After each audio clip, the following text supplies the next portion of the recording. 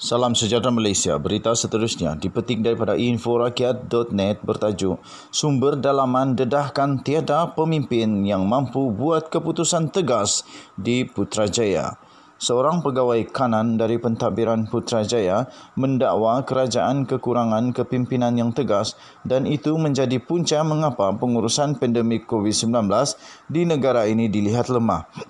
Katanya, terlalu ramai orang yang menguruskan perkara yang sama membawa kepada keputusan flip-flop dan dasar yang tidak jelas katanya lagi dalam kenyataan itu.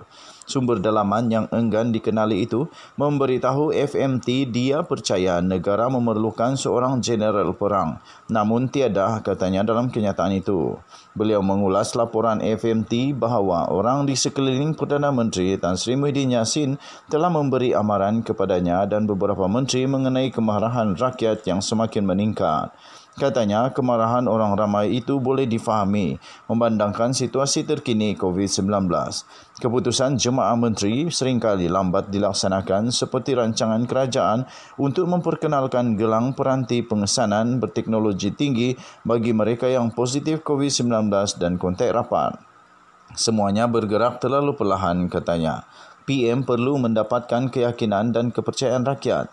Sekiranya dia tidak mendapat sokongan yang secukupnya, mungkin ada lebih baik yang di-Pertuan Agong memanggil semua ahli parlimen dan mencari kata sepakat untuk membentuk kerajaan sementara.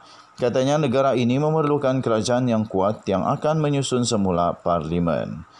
Tambahnya lagi, dia diberitahu Beberapa ahli politik termasuk seorang pemimpin AMNO dan seorang bekas Perdana Menteri juga sudah merancang kemungkinan untuk membentuk kerajaan sementara untuk mentadbir negara sebelum pilihan raya umum berikutnya. Saya faham mereka sudah mengumpulkan pasukan mereka, katanya. Bagaimanapun, tambahnya, reformasi politik yang serius diperlukan dalam jangka panjang.